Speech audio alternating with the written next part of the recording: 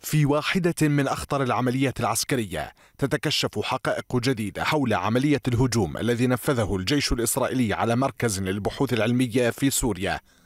أكد أنه مخصص لإجراء بحوث عسكرية إيرانية ويضم قوات من الحرس الثوري الإيراني. وتزامنا مع تلك العملية التي جرت قبل أيام كشفت وسائل إعلام عبرية وغربية عن تنفيذ الجيش الإسرائيلي إنزالا جويا استهدف المنشأة الإيرانية وتزامن مع قصف جوي عنيف اشتبكت خلاله القوات الإسرائيلية مع جنود إيرانيين وسوريين وأسفر الاشتباك عن أسر شخصيتين إيرانيتين مهمتين.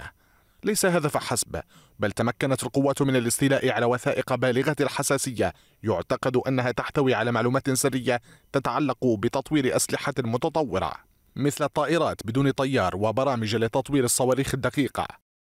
أما عن أهداف إسرائيل المباشرة من ذلك النوع من العمليات كشفت مصادر مطلعة على وجود خطر تمثل بتطور الدعم الإيراني لأذرعها في المنطقة بتزويدها صواريخ باليستية لذا تحرك الجيش الإسرائيلي للحصول على تلك الوثائق التي دللت على منح إيران تكتيكا لصناعة أسلحة لأذرعها.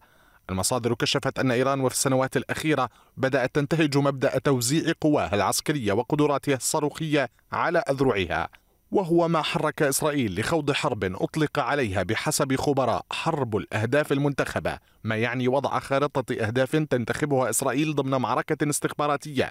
بعد أن تأكدت تل أبيب عن وجود مخاوف إثر تلك المواقع البحثية لتعمل على تعطيل قدراتها في الصناعة العسكرية الذاتية وأسلحة إيران الاستراتيجية والتي وصلت إلى تطور غير مسبوق تمثل بمنح تلك الأذرع صواريخ قادرة على اختراق الغلاف الجوي مثل امتلاك الحوثيين لأنواع منها.